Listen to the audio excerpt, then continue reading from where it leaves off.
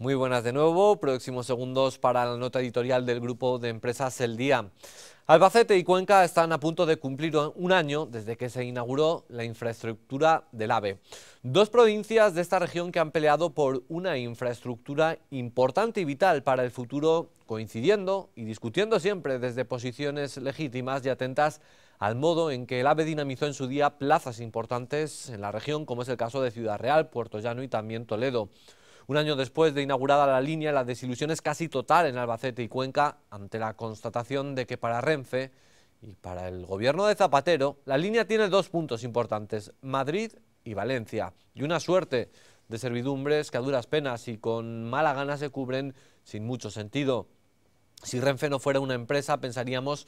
que hay alergia a ganar dinero y hacer rentable el hecho de que la infraestructura permite trayectos y paradas intermedias incluso el cómo se permitió que la demagogia basura identificara la supresión del tren Albacete-Cuenca-Toledo con el despilfarro de llevar el AVE a estas ciudades, demuestra el escaso interés de la compañía por defender estos destinos. Para Cuenca y Albacete, un AVE con horarios lógicos y precios comparables a los de Ciudad Real y Puerto Llano, con posibilidad de, de bonos mensuales, supone un freno a la inmigración y la posibilidad del incremento de habitantes dispuestos a disfrutar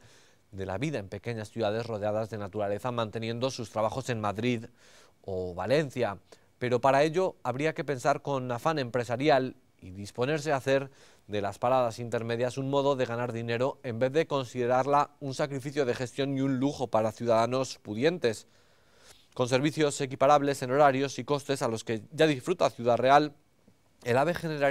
generaría en un tiempo prudencial un tráfico de viajeros suficiente en horas punta, permitiendo a centenares de jóvenes, estudiantes, no tener que gastar enormes sumas de dinero al año en alojamiento en Madrid o Valencia. Pero no hay tarifas adecuadas ni horarios que permitan crecer a estas ciudades como sí se permitió en su día a Ciudad Real. Esperemos que en esta nueva época se instale en la dirección de Renfe y de Fomento un espíritu de gestión eficaz y lógico, comprometido con la inversión y con el progreso de todos.